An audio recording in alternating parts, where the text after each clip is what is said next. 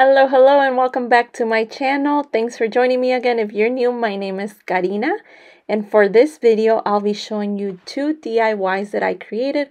One is this candle holder made out of modeling clay. And the second project is some wall art made out of spackle.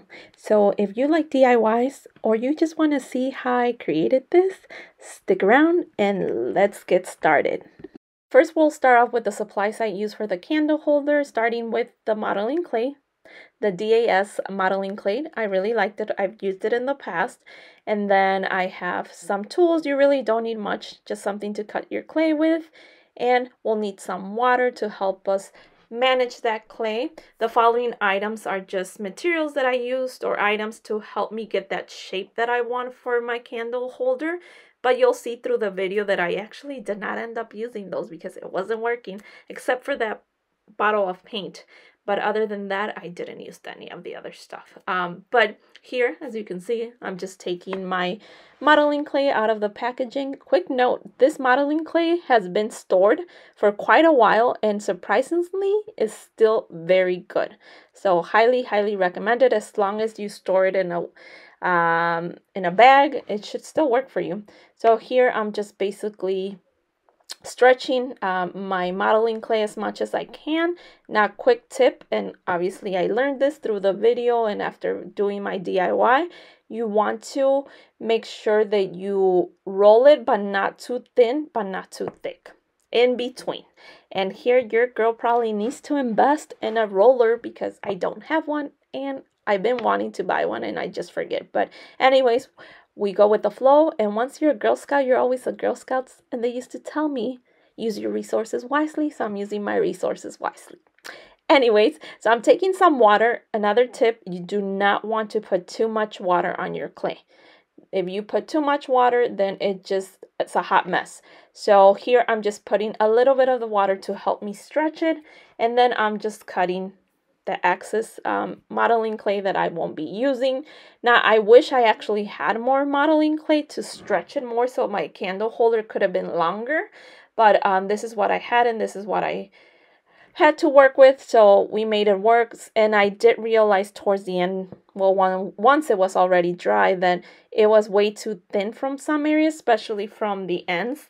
And I wish I would have not made it as thin. The middle part was perfect. Um, but um, both of the ends were too too thin for me uh, or at least for what I wanted to accomplish and I'll tell you why as we go through the video but here I'm just taking the water again. The water helps you smooth any um, lines or anything.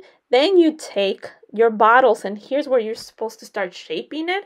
And then I realized because my modeling clay was not long enough that bottle wasn't gonna work. So I took a little small wine bottle and then this other smaller candle holders, which didn't work either. It was still too big or almost the same size of that wine bottle. So I decided to just go ahead and take my uh, paint bottle and use that. And that worked perfectly because I had many bottles of paint. So I figured I would just use those. And that was the perfect shape. Again, if I could go back, I'd probably stretch it more or add more clay so that the thickness is the same as the one in the middle, but it's also longer. As you can see, the two side bottles, it's not as thick as should have been. Then I just took my candle and started making that shape of um where the candles are gonna go. And I actually, as you can see, I also added in the middle some or on the sides of the middle some holes, but I realized that I didn't like that. So I went in with some water and just try to smooth that out. And because my ends were not deep or thick enough, I knew the candles were not going to stay in. So what I ended improvising is taking my tools and remove some of that modeling clay from the middle of the holes. This had to be done because of the thickness of my clay. It wasn't thick enough, so I knew that if I didn't do this, there was no way the candles on the side were going to stay. The middle was fine, but just so it could be cohesive, I had to do that. Then once I was done doing that, I left my clay out to dry. I only left it to dry for 24 hours for the purpose of this video so I can finish it, but ideally you want to leave it out for almost two days or longer if you can. So you can see mine is still wet, but again, for the purpose of the video, I had to move along, but once it's dry completely, you can actually sand it. I did not sand this piece, uh, but you would want to take a um, something, a file, or whatever you want to use to sand your modeling clay so it looks nice and smooth and super professional. But I was going to leave it like this, but then it wasn't the vibe, so I decided to take some gold paint and just paint paint away. It's your piece paint it don't paint it do whatever you want. Another tip you could also take some gloss uh, spray paint which helps it not only protect it from anything but also give it that glossy look. I personally like the matte look so i kept it that way. Once i was done painting i left it to dry completely before i i tried my candles on the actual holder and i'll show you at the end how it looks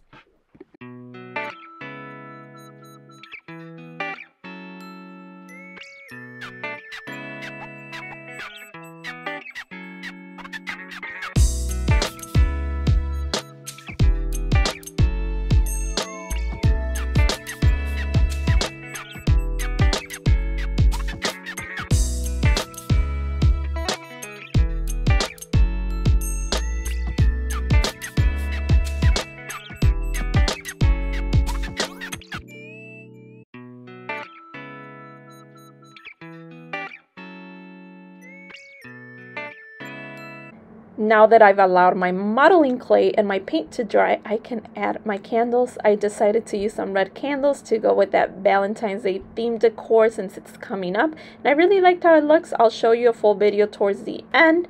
But uh, moving along with the next project, which is the wall art made out of spackle. So the main character is your spackle. You need some spackle. Um, then you'll need some canvases. I actually use some canvases I had from years ago from the dollar store that I'm not using. So I figure use your resources wisely again, Karina. So that's what I did. Then I used this kit, hair kit, actually because for the texture that I wanted for my art, but I didn't like it towards the end. So you'll see what I ended up doing and what tool I actually used. Then I just wanted to take some beads or whatever I had left in my craft box to just make it more fun. So this is my first time using spackle. And it's actually very fun. I took a small little tub. I didn't need a lot because my canvases were small, but depending on the size of your canvas, obviously you'll probably need more. I ended up using the entire little tub for both of my canvases. You just mix and mix it and then slap it on your canvas. Literally, that's all you do and work with it. Now, quick tip, don't overdo it. Um, because if it's too thick then you run into the cases the case sorry of this uh, spackle crackling on you. Almost the same as the modeling clay. If it's way too thin it'll probably crack on you. If it's way too thick it'll definitely crack on you. So you want to have that middle ground. Then here's where I started using that comb to try to figure like what kind of shape or texture I wanted for my frame. As you can see, some areas I had to add more spackle because it was way too thin. So finding that middle ground is uh, what I'm doing here. And then again, going in with my tools to see what type of texture I wanted to give it. I didn't like the comb. I didn't like the brush, so that was a fail. And at the end, the best tool were my crooked fingers. I really liked that texture it gave it, that shape. It just looked really cool.